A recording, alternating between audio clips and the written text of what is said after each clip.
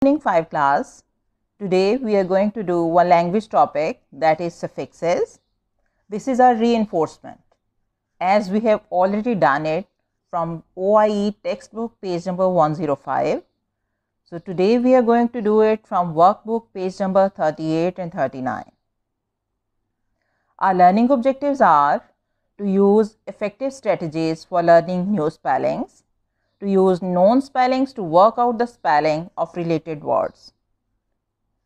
First of all, we are going to recall what are suffixes.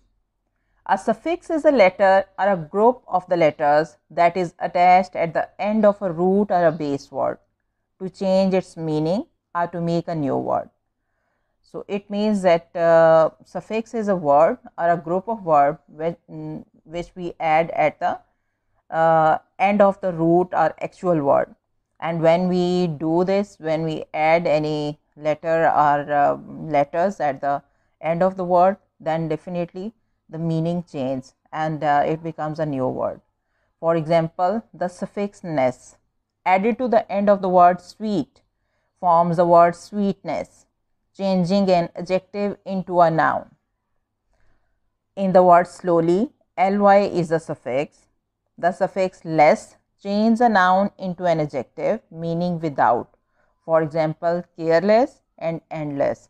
When we add uh, less at the end of care then it means uh, without care and uh, in the same way when we add less at the end of end then it becomes a new word and it means without end so uh, suffix we learned that suffix is a word which we add at the end of the actual word i want to tell you about prefixes also prefix is a word a letter which is placed before the stem of a word.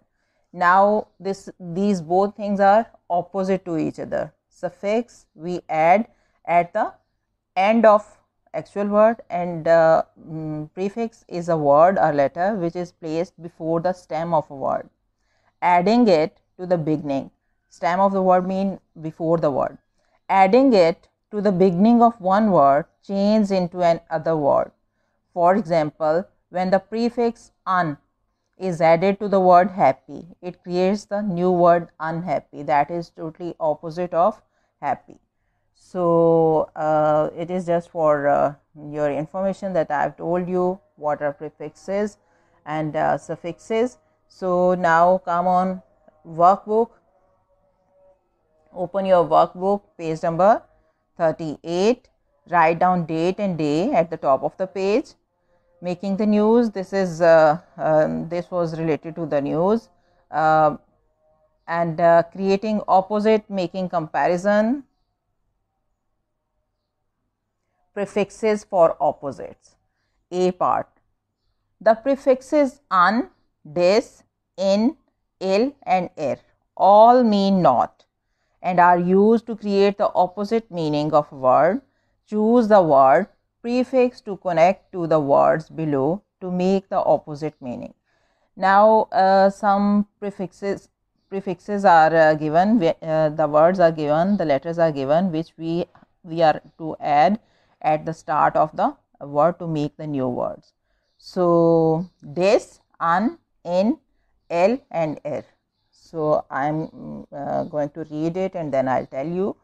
Uh, you can also guess them happy, unhappy, beatable, unbeatable, relevant, irrelevant, obedient, disobedient, well, unwell, trust, distrust, even, uneven, equal, unequal, logical, illogical, please, displease, like, unlike, deserved, undeserved.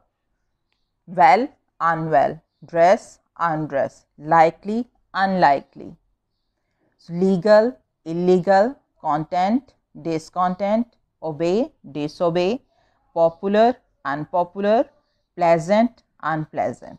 So, write them uh, at the beginning of these words to make their uh, to make their prefixes are opposites. So, next is forming the comparative and superlative. so actually these are adjectives when we uh, when we add uh, prefixes at the start of the letter again they become adjective so this and uh, adjective have you know very well that adjective we have done in classroom and uh, in online classes also that adjectives have um, two other degrees. So comparative and superlative.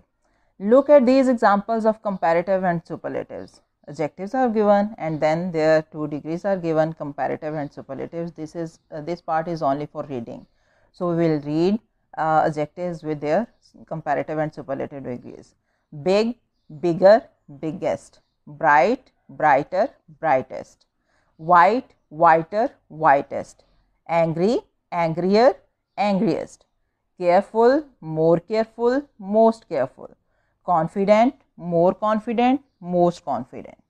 So this was our page number 39 uh, sorry 38 so on this page first uh, in first part we read about uh, prefixes and uh, we added uh, some letters uh, at the beginning of the words to make their new words and then there were adjectives degrees of superlative and comparative degrees of adjectives we have read them now come on next page, page number 39 of textbook, B part. Using the examples opposite to help you, write the spelling rules for forming the following comparative and superlative forms. So this is very uh, this is very interesting uh, activity. So first one is uh, a one one syllable adjective. First of all, I'll tell you what is syllable. Syllable is uh, it means when we utter any word when we pronounce any word, the movement of our tongue inside our mouth that is called syllable. How many times our tongue moves in our uh, mouth to say any word that is that is noticeable. So it is called syllable. It tells the syllable of the word. So one syllable adjective example is given bright, bright. So add er, er, est to the end of the word. So, you have to write comparative and superlative degree of bright here. Then second is a one syllable adjective ending in E. So, now you have to find a one syllable adjective that ends on E. So, I can tell you for example, wise, blue, brave, bold, prime all these are adjectives and all these ends on E. So, sec, uh, third number 3 is a one uh, syllable adjective, a one syllable adjective ending with a single consonant. Consonant, you know very well what are consonant uh, without vowels, all the alphabets are consonant with a single vowel before it. So, uh, what is the meaning of this one that uh, you have to find one adjective that uh, that ends on a consonant but before consonant there must be a vowel. So, so think over it. Yes, big, big. Last letter is big. G. G is consonant. Before G there is vowel I. I is vowel. In the same way, mad. It ends on D that is consonant and before D there is vowel. Fair ends on R consonant and before R there is I that is vowel. Fat, T is consonant and A is vowel. So, next is four, uh, number 4 a two syllable adjective. Now, we have to find two syllable adjectives. So, for example, and uh, there is no um, condition to uh, for ending letter. So, only two syllable adjectives. Two syllable adjectives um, you can find able able, easy, loving. These are two syllable adjectives. So, number 5 is a two syllable adjective ending with I, uh, ending with Y. So, now you have to find two syllable adjective, but they must be ended on uh, Y. For example, busy, uh, in the same way, happy, uh, and then angry. They they are adjectives two syllable adjectives and uh, they ends on y. Then come on number 6 adjectives with three or more syllables. And uh, there is no condition for ending letter.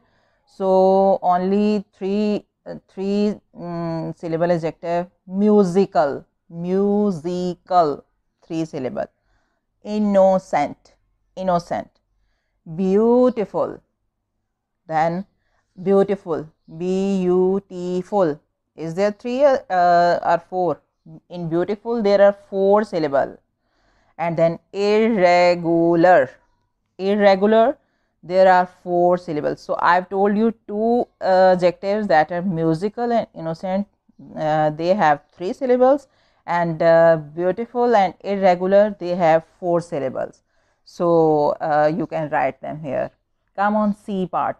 Write six more adjectives to give an example of each of the above rules. Now i've told you examples so you can find out.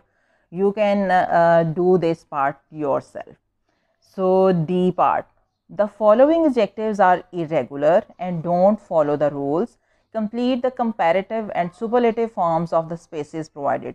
Now adjectives are given and we have to write comparative and superlative forms.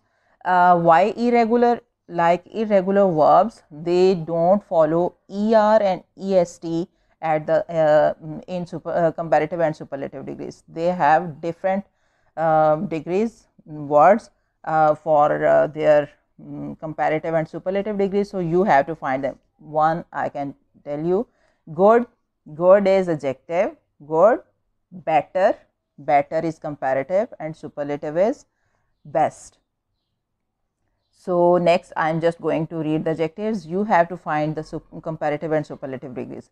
Next is bad, then for, then little, then many. So, these are adjective and uh, you have to find their comparative and superlative degrees. This is the end of uh, page and uh, I think so you can do very well. Next is uh, homework. Do part C and D on page number 39 of workbook. This is our lesson. Take care. Goodbye.